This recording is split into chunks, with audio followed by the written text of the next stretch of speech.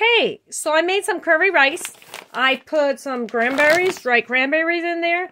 And I put hemp heart, which is very nutritious. Um, and plenty of curry in it.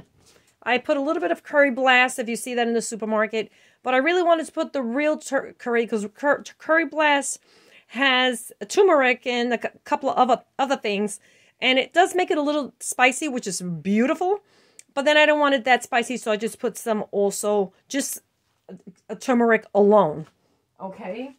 Uh, apart from that. And so now I'm going to pause this. So I have been soaking red onions in lemon juice. Okay? Why? Because I love it. And I'm going to show you a trick of something else. So don't go because it gets better. Okay? So I'm going to use some of the... I did this in the middle of the night last night. Right? Onions soaked in lemon juice.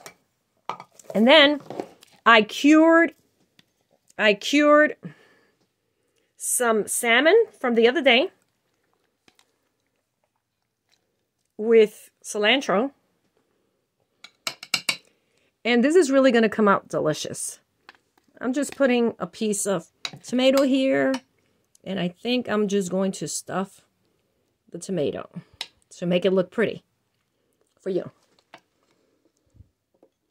Okay. So this is my dish here that I am so excited about. I used to make a lot of cured salmon in lemon brine for a couple of days. And then when it's ready, I will eat it.